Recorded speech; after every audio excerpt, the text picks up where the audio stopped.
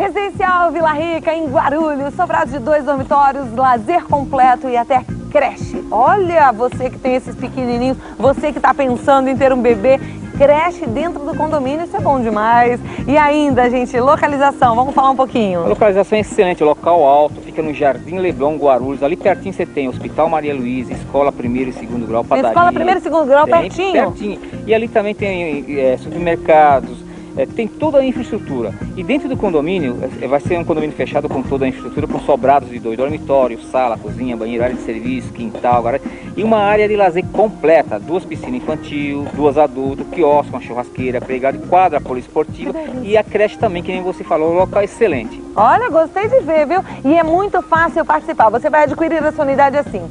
É, inscrição, quanto? Inscrição 200 reais, não precisa comprovação de renda.